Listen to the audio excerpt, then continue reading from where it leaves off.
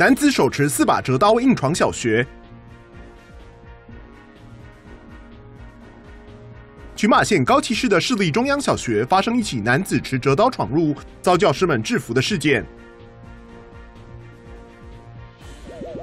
男子家住高崎市内，目前待业中，自称收到来自电波的指示。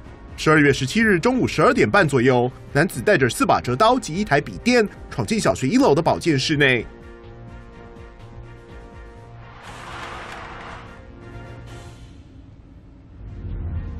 他对保健室老师说：“他是收到指令而来的。”接着就秀出刀子，吓得保健室老师落荒而逃。保健室老师到职员室寻求男老师们的帮忙。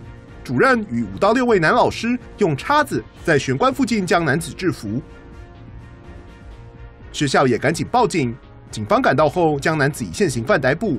男子身上带着四把刀，侦讯时竟说些语意不详的话。原创贴图开卖喽，快到 LINE Store 下载吧！